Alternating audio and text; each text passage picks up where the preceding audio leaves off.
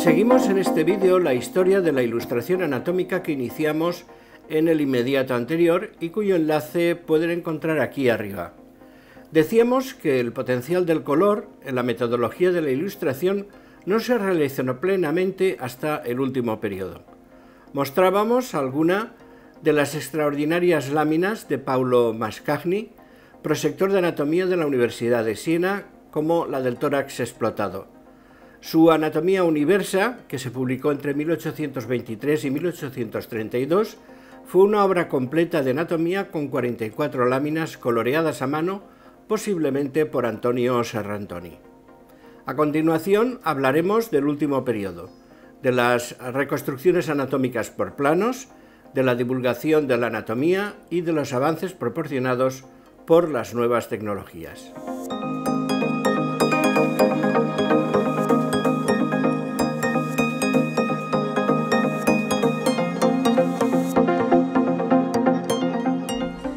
El último periodo fue el que marcó de Bassi Encéfali de Sömering en 1778 hasta mediados del siglo XIX. Una característica de esta fase es un mayor cambio hacia la anatomía de los órganos internos a la luz de los nuevos descubrimientos realizados como resultado de un estudio más especializado. La mecanización de la imprenta en el siglo XIX junto con la invención y el desarrollo de la litografía, hizo que los textos y las ilustraciones pudieran producirse en masa y distribuirse ampliamente a través de redes de editores y libreros.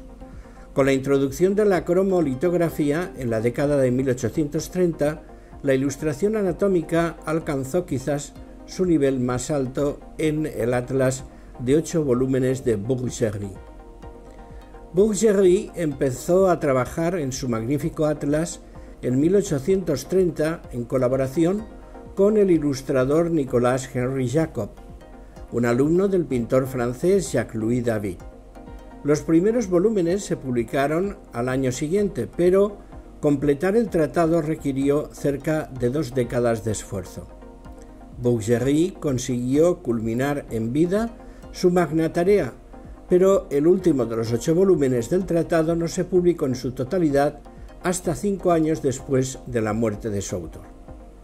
Los ocho volúmenes del tratado de Bouc-Jarry cubren la anatomía descriptiva, anatomía topográfica y técnicas quirúrgicas, con descripciones detalladas de casi todas las principales intervenciones que se realizaban durante la primera mitad del siglo XIX, también la anatomía general, la embriología y la anatomía microscópica. Aquí podemos contemplar unas láminas del primer volumen dedicado a la osteología y sindesmología, o sea, los huesos, las articulaciones y los ligamentos. Aquí otras del segundo volumen sobre miología, es decir, músculos, tendones y fascias. Del tercer volumen consagrado a la neurología, el sistema nervioso central, periférico y vegetativo, así como los órganos de los sentidos, podemos observar estas láminas. La angiología, corazón, arterias, venas y sistema linfático, constituye el cuarto volumen. He aquí unas láminas del mismo. Estas otras láminas son una muestra del quinto volumen dedicado a la esplacnología constituido por las vísceras abdominales, el aparato digestivo y genitourinario.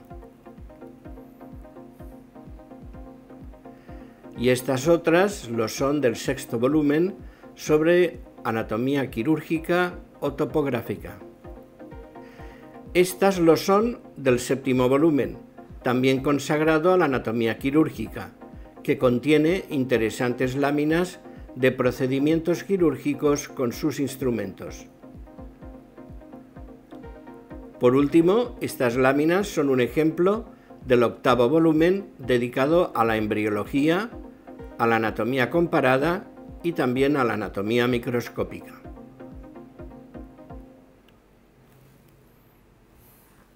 Todas las láminas del traté se realizaron e imprimieron mediante la litografía, que significa escritura o dibujo en piedra. Esta técnica nació en Praga entre 1796 y 1798. Su descubrimiento supuso una auténtica revolución, ya que hasta entonces eh, el único medio para reproducir una imagen era el grabado en hueco, especialmente sobre cobre o en relieve sobre madera. La litografía y su coste reducido significó que el número de litógrafos y de imprentas que la utilizaban creciera. En un principio solo se imprimió en blanco y negro. Las láminas de la primera edición se iluminaron a mano. En 1837 Engelmann registró la patente de la litografía en color, pero usando solamente el rojo, el amarillo, el azul, además del negro. El procedimiento seguía siendo largo y tedioso. La segunda edición del trateo del tratado se imprimió utilizando ya la cromolitografía, se iban entregando a los suscriptores en grupos de ocho láminas y ocho hojas. Por último, señalar que cada volumen de láminas se acompañaba de un volumen de texto. Por otro lado, el anatomista escocés John Bell prefería y reivindicó un estilo sencillo adaptado a las necesidades de la enseñanza y la cirugía frente a las pretensiones de los libros anteriores que ya hemos visto. La conocida Anatomía de Henry Gray de 1858, que da nombre a una conocida serie, ilustrada por Henry Day Carter, aspiró a un modo descriptivo simple. La Gray's Anatomy se editó y reeditó a lo largo de los años por sucesivos profesores. La primera edición es de 1858 y contenía 363 dibujos. Apenas hay estilo, poco modelado en luces y sombras, ningún intento de colocar figuras en poses elegantes y sin fondos evocadores. En 1923, cuando se alcanzaron 22 ediciones, el libro había ganado 1.378 páginas con 2.258 ilustraciones, muchas en color. De las ediciones actuales ya queda poco del original de Gray. A finales del siglo XVIII, las imágenes anatómicas se convirtieron en parte integral de la enseñanza de la anatomía. Los cambios tecnológicos, sociales y culturales y otras circunstancias favorables permitieron el surgimiento de los ilustradores anatómicos profesionales.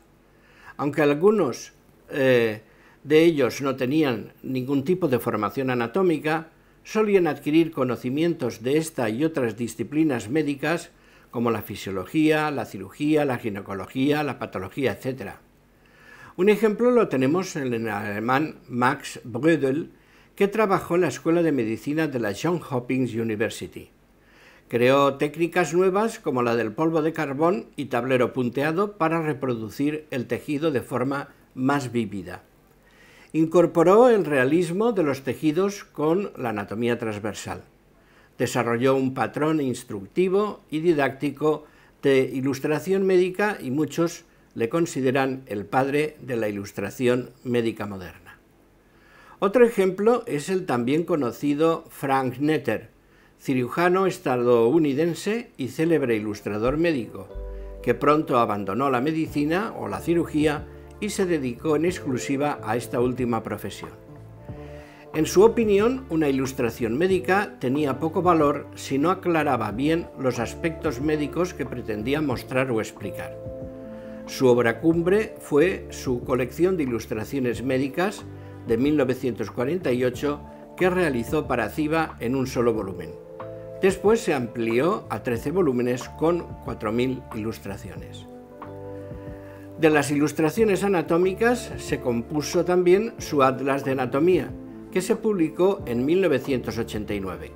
Rápidamente se convirtió en uno de los preferidos de los estudiantes de muchos países. Se edita hoy en 16 idiomas. Asimismo, queremos poner de relieve los textos que contienen láminas iluminadas, recortadas y superpuestas. Aquí tenemos un ejemplo del texto de Kuf, doctor en medicina, y preparador del Laboratorio de Antropología de la École des Hautes ilustrado por Edouard Cuyer, traducido y publicado en España por Baillier en 1880. Esta idea se ha repetido después, mucho antes de la aparición de las imágenes 3D generadas por ordenador. Yo como estudiante lo conocí con el nombre de Velorcio o una reconstrucción o atlas del cuerpo humano por planos. Muchos venían en bruto y el estudiante tenía que recortarlos, colorearlos y armarlos como complemento a las prácticas de disección. Aquí vemos reunidos los velorcios de la Escuela Anatómica de Escolar, utilizados en la enseñanza de la anatomía en Valencia bajo la dirección del profesor Víctor Smith Agreda. Esta idea se integró con facilidad en los libros desplegables, que hoy con la invasión del inglés llaman pop-up y que muestran de forma más sencilla la estructura del cuerpo humano para niños. Los hay más cercanos a la realidad y los hay que explotan más los aspectos artísticos. Entre los más antiguos, el Philips Popular Mannequin, editado por Fourneau en 1900 aproximadamente. Este otro, que carece de datos, es parecido, pero se refiere al cuerpo de la mujer. El álbum de anatomía elemental El hombre en piezas superpuestas, fue editado por Dalmaus Carles Pla Editores a principios del siglo XX.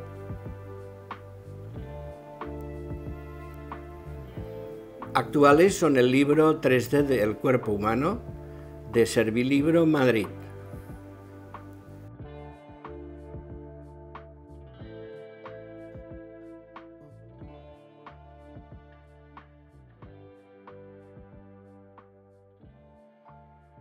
El italiano y el cuerpo humano, una guía pop-up de anatomía, escrito por Richard Balker e ilustrado por Rachel Caldwell.